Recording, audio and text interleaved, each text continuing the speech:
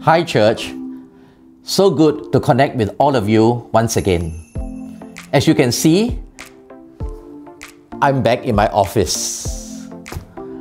I'm very sure most of you are also looking forward to coming back into the house of God very soon. While we await the state government's approval to gather as a church once again, all church activities, including services, ministries, cells, will remain online until the end of July. Your safety is still our priority.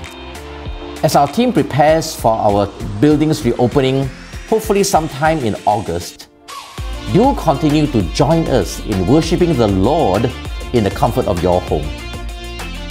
During this time, actually, the church has grown not only quantitatively you know that every weekend, almost 8 to 9,000 views see our online services.